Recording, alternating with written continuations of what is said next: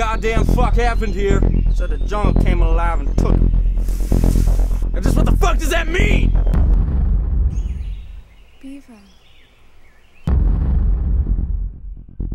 Just what the fuck is she talking about? The hell goddamn beaver doing out here? Doesn't matter what it is. You gotta kill it.